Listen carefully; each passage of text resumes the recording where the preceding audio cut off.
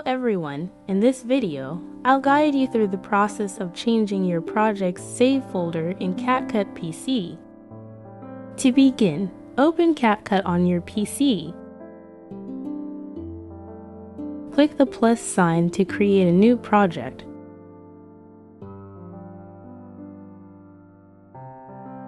Locate the small menu in the upper left corner of the screen.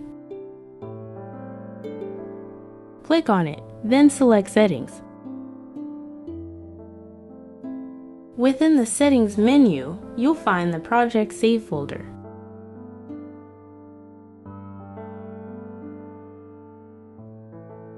If you find that you're unable to click on this option, it's likely because you have a project open.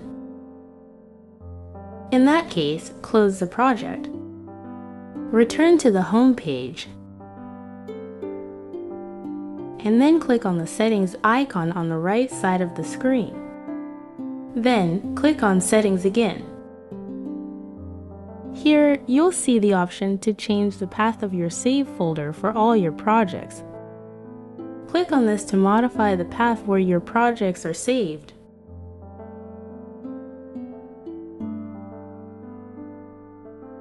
I hope this tutorial was helpful for you. Please give this video a thumbs up share it, and subscribe to our channel for more tutorials. Thanks for watching.